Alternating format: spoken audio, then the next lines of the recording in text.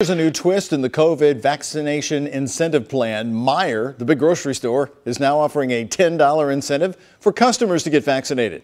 Meijer says the money will be a discount off any of your purchases in their stores when customers complete the vaccination process at a Meijer store.